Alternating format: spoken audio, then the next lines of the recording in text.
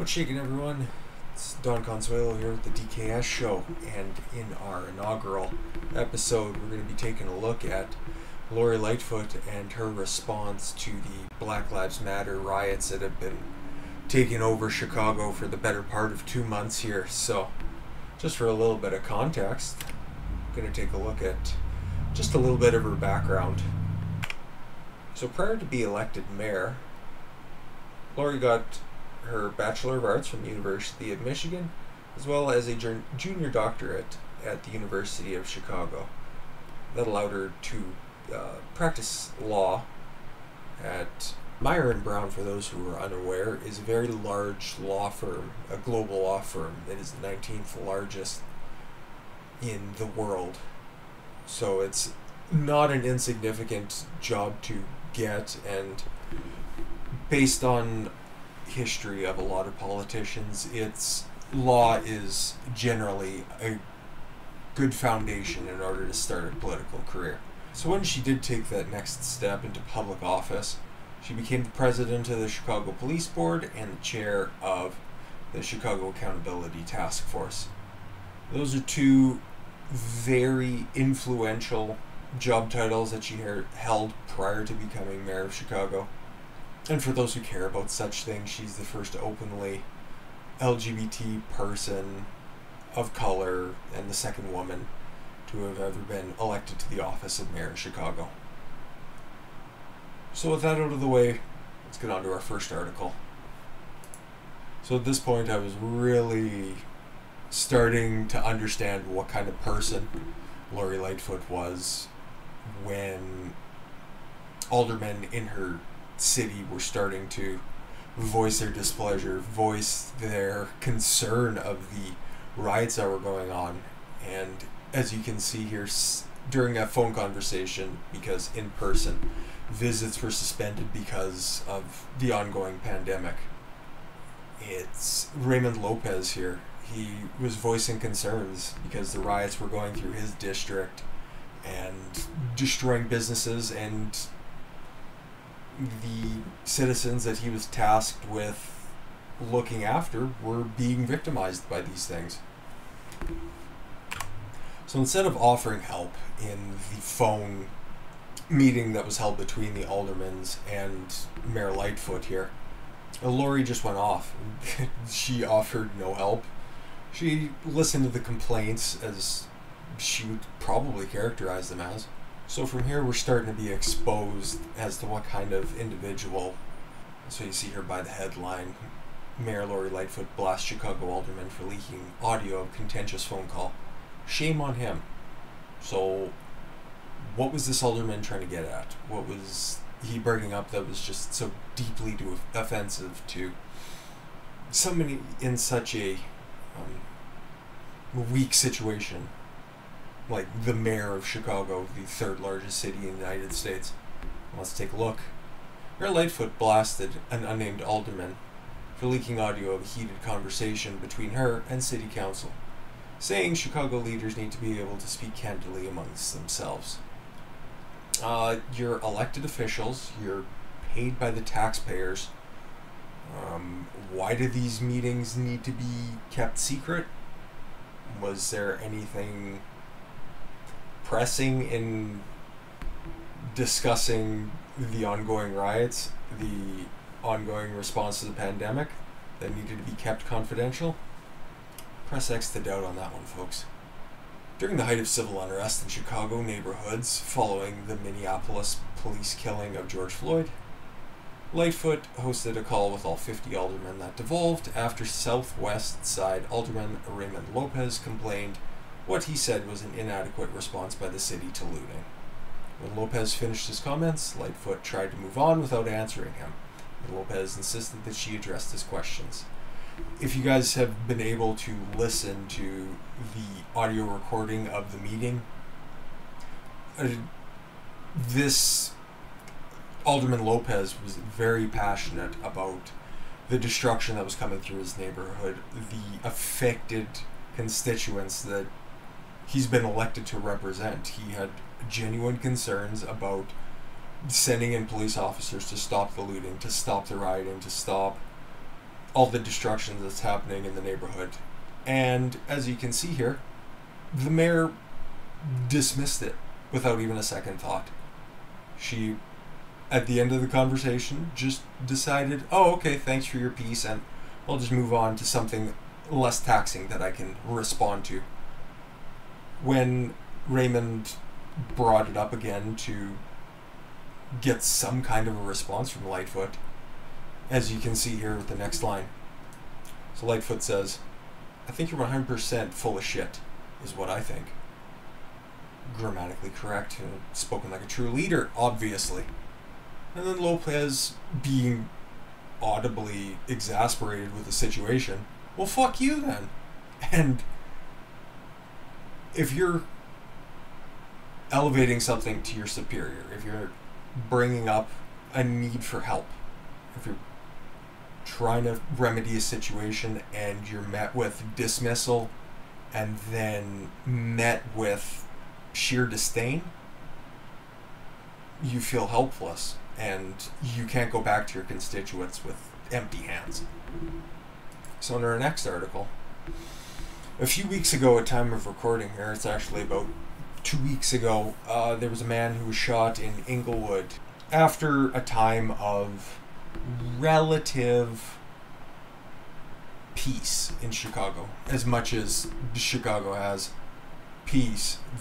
On the side of looting and rioting, it was relatively calm until the situation where the police shot a when the police shot a man in Englewood, and it led to Black Lives Matter deciding that, uh, hey, you know what? Uh, we could really be using some stuff, and um, Magnificent Mile probably has a lot of nice fucking stuff. So we're just gonna go down there and uh, take what we want. How about that? So, hundreds of people swept through the Magnificent Mile and other parts of downtown Chicago early Monday, smashing windows, looting stores, and confronting police after officers were shot. A suspect, Englewood hours earlier. The mayhem marked the second time since late May that the city's upscale shopping district had been targeted by looters amid unrest, reigniting the debate over policing as the city leaders continued to point fingers, and downtown again was shut down overnight, heading to Tuesday. So, what they mean by shut down is, for those who are unaware, the downtown core of Chicago is surrounded by the Chicago River. It's just as a point of reference, kind of like how Manhattan in New York is an island. It is basically identical to what the downtown core of Chicago is like. There needs to be bridges and roads built in order for them to access the island. And when they say that the downtown was shut down overnight, all of the bridges were raised. And this only happens in very specific situations, in very dire situations. There was one bridge left down for emergency use only, and it was not for local traffic. So, what Lightfoot did was concentrate all the rioting, all the looting into the downtown area to try to keep it out of the suburbs, try to keep it out of residential areas. Which, if you're in a dire situation, I can understand the logic there. You don't want it to go to the people if they're gonna be fucking bonkers and decide that 400 years of slavery deserves a Gucci belt and a fucking a down coat, then be my guest. But you also need to catch these people and charge these people. You can't just let them run around and be free like they are in Portland, where you have situations where riots have broken out for it's just about three months at this point. It's approaching the 90 day mark. And in Chicago, you it's a much richer area. There's more wealth in Chicago on a mass scale. There's obviously rich people in Portland, but when you're talking downtown Chicago, it's the third largest city in America there's going to be considerable wealth there. So, in response to these riots, uh, yeah, Magnificent Mile trash, 13 cops were injured, two people were shot because of the riots that broke out. Our good friends and yours from Black Lives Matter decided that now, decided that now was a great time to poke the bear.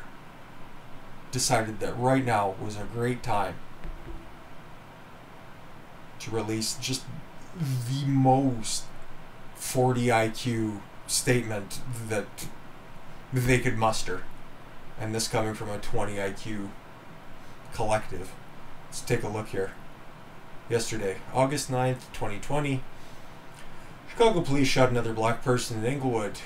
Gives no context, they could care less what the black guy was doing when he got shot, but nonetheless, Chicago police allege that they stopped someone who had been suspected of possessing a gun. Okay. Next, the young person ran away, rightfully. Rightfully? Fearing for his safety and his dangerous interaction with racist and armed police. That's considering. Whatever. The cops then pursued him on foot, going directly against the DOJ recommendation to eliminate foot chases.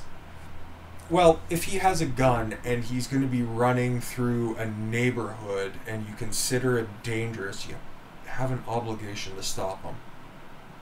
But the chase culminated in CPD shooting that young person, creating violence out of a situation where no one was in danger. CPD claims the victim shot first and they found a gun on the scene. These details are uncorroborated, partially because CPD also claims that there is no body camera footage available for this interaction. This is a clear violation of state law and CPD policy, and another example of police showing a lack of transparency. It is shameful that such public instances of police lying as Laquan McDonald, Harith Augustus, and others in Chicago alone, journalists continue to retreat the police account as impeachable fact.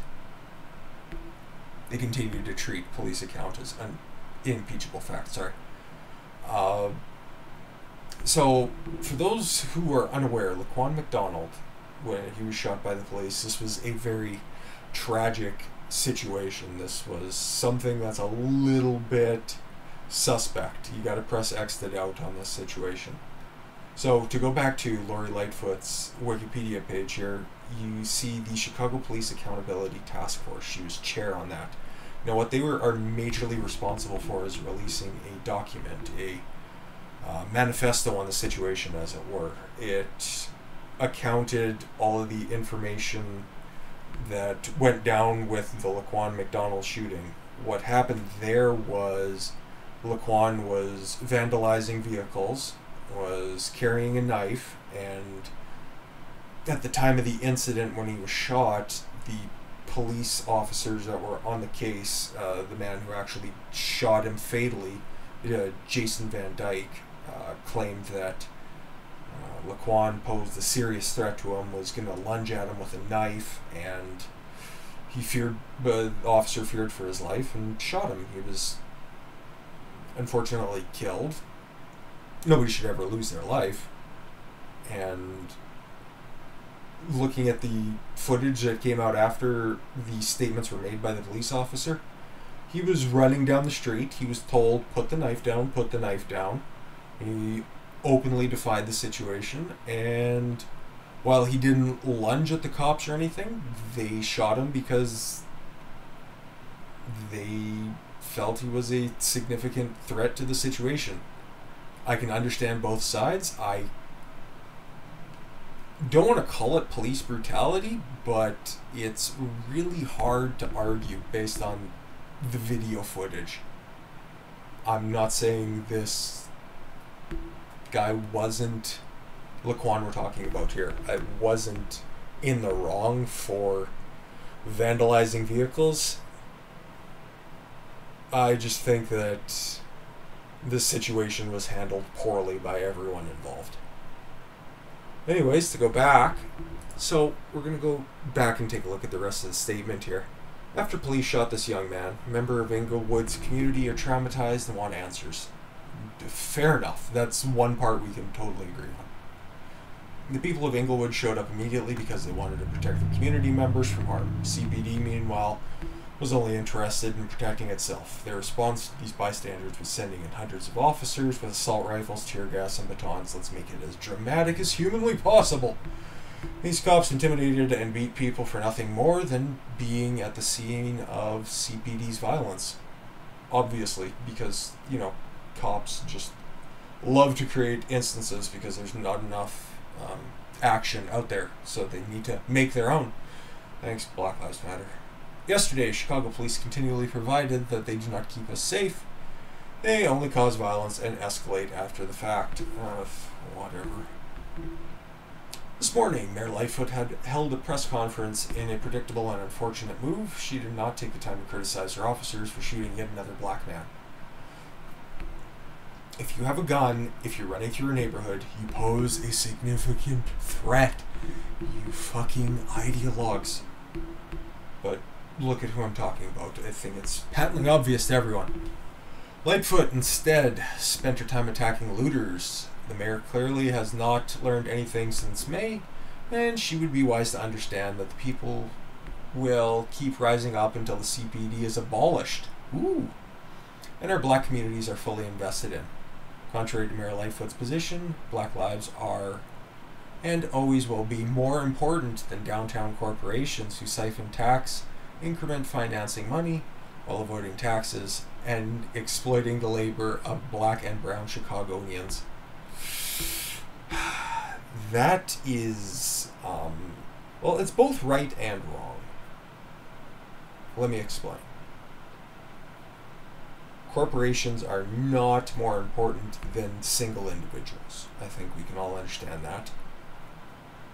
But as a black supremacist collective that BLM is, has become, maybe always has been, they're always going to perceive themselves as being the victims and being superior at the same time. What they fail to understand is these corporations, these stores, these small businesses that were looted and destroyed also employ black and brown Chicagoans. Chicagoans? Chiconians? People of Chicago. And if it wasn't bad enough that these stores are being locked down because of this wildly overreaching lockdown procedure that frankly has gone on far too long. I know I'm really breaking ground here, but anyways, let's continue. These corporations have looted more from our communities than a few protesters ever could. Yet the mayors reserve the right reserves her anger for the latter. We will remain in the streets until our demands are met. Oh, that's good. Uh, what's that thing? America doesn't negotiate with terrorists? Um, good luck getting your demands met. We are reminding the mayor that she has not provided black communities any alternative for demanding justice. Um, don't break the law and you don't get in trouble. I understand that there are a couple of cops out there that are assholes that are going to profile you. That's not the majority.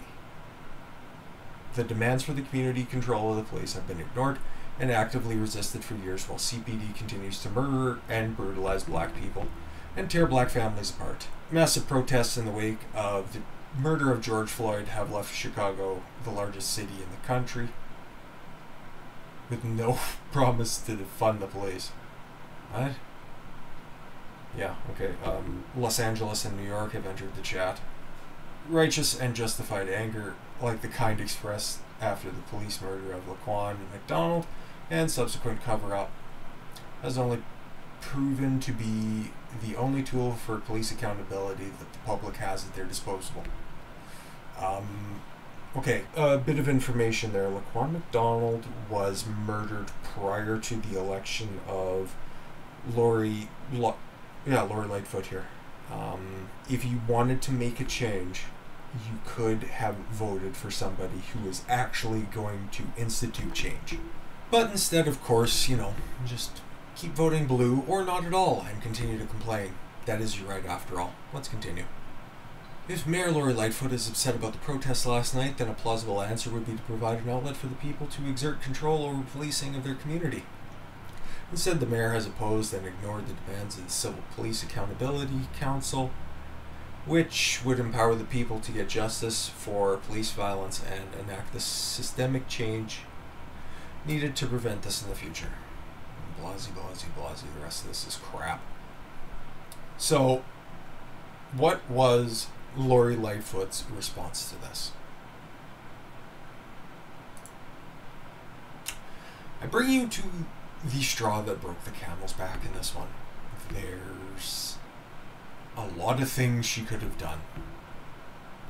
She could have listened to these lunatics, given in to their demands. Clearly, that's not the right answer, obviously. I wouldn't be making this video the way I have if I believed that. But just reading the headline here, citing threats, Mayor Lori Lightfoot defends the ban on protesters on her block. I have the right to make sure my home is secure. We can all agree with that sentiment. We all have the right to make sure our home is secure. I have the right to own a firearm. You have a right to own a firearm. Everybody should take personal security very seriously. In Chicago, it's very difficult as Second Amendment rights are curtailed vociferously. Understand that the police are there to help you. Obviously, Mayor Lightfoot agrees with that sentiment because even just looking at this picture of police officers outside of her block, she believes that the police are there to help her as well. It's baffling the the sheer lack of understanding what a community needs and what to provide for a community, listening to the people on the street, listening to the spokespeople that they've elected, and disregarding all of that in favor of what? In favor of consolidating power, in favor of despotism, where the rules for thee, not for me. Lori Lightfoot is just one of three exceptionally terrible mayors. And unfortunately, those three mayors run the three largest, arguably the three greatest cities in the United States. And in closing, what is Lori Lightfoot going to do with the demands of Black Lives Matter?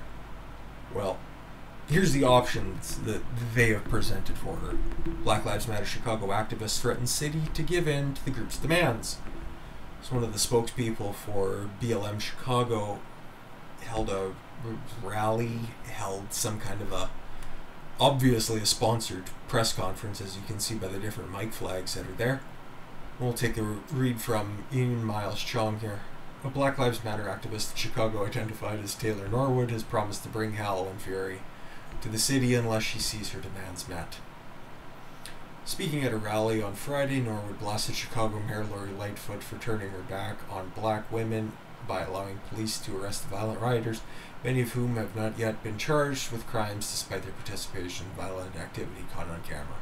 She claimed in her speech that Lightfoot was not protecting the black women in this city. Black Lives Matter activists in Chicago tweeted out We have demands that they need to be met. We're not asking for anything, we're telling you what's about to happen with your permission or not. You can listen to us or you can get ran over. Now, that's the entire crux of Black Lives Matter. They don't want anything coherent, they just want to destroy. They play the semantics game of if you aren't for them, you're automatically against Black Lives. And this isn't a new point, but it's very important. Black Lives Matter. The three words are very important. Black people's lives do matter. Brown people's lives do matter. White people's lives do matter. The point that Black Lives Matter group is trying to make is that they're superior and if you don't believe that, we're just going to cry and make a big fuss until you either feel bad enough for us or we're just going to tear the whole fucking shit down. So, law abiding citizens are starting to see through this. They're starting to see that this is merely a supremacist group and not a group of people that I don't want to say can't be reasoned with, but they haven't proven themselves to be a collective of individuals that are reasonable. This has been going on since the end of May. Lightfoot is more convinced that looking after her own family instead of looking after everything going on in Chicago is far more important, anyways. So, I'll leave it with that.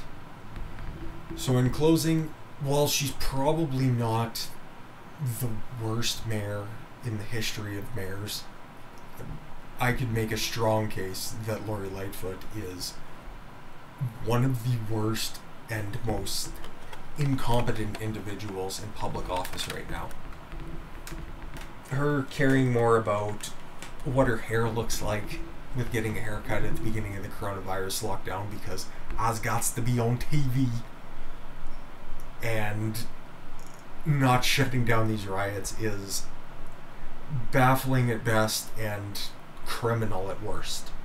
I thank you very much for taking the time to listen to this. It's my very first endeavor into doing anything quite like this. I will be making a separate video explaining what I'd like to accomplish with this channel and once again I thank you for your attention and hope to talk to you again soon. I've been Don Khan Swaylo with the DKS channel. Follow your gut, get after it. Take care, guys.